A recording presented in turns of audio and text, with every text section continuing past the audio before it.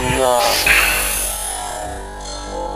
I just showed up. I have no idea what's